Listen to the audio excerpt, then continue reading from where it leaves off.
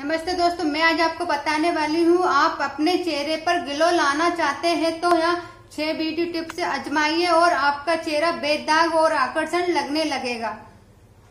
जानिएगा कैसे? नंबर एक त्वचा की सफ़ाई के लिए कभी कभी कच्चा प्याज खाना चेहरे के लिए अच्छा होता है। इससे चेहरे के दाग धब्बे कम होने में भी मदद मिलती है। नंबर दो फ्रेश दिखने के लिए आँखों में आराम देना भी बेहद ज़रूरी होता है। ज़्यादा देर तक आप कंप्यूटर के सामने बैठने वालों को थोड़ी थोड़ी देर बाद खिड़की के बाहर देखना चाहिए। आँखों की हल्की फुल्की एक्सरसाइज भी करना चाहिए। इससे आँखों को आराम मिलता है। नंबर तीन, चेहरे पर मास्क लगाने से चेहरे की दोचा पर मौजूद मृत कोशिकाएँ हट जाती है। इससे चेहरा ही सुंदर होता है, वह स्किन टाइट होती है और झुरिया भी कम हो जाती है।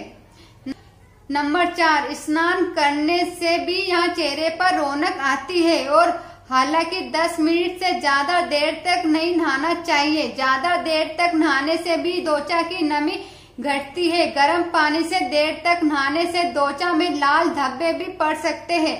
नंबर पाँच, दोपहर के समय लगभग हर किसी को नींद आने लगती है। के बीच में आपको पाँच मिनट निकालकर आँखों को बंद कर ले तो यह आपको फ़ायदेमंद होगा। इससे न सिर्फ़ ध्यान केंद्रित करने में मदद मिलती है, बल्कि रक्त में भी सेलोटेनिक हार्मोन्स का स्तर बढ़ता है। यह हार्मोन्स खुशी के एहसास के लिए जिम्मेदार होते हैं। नंबर छह, दिन भर की थकान उतारने में ताज़ा हवा मदद करती है। देर चलना या हल्की फुल्की एक्सरसाइज से भी यहाँ चेहरे पर रौनक आती है।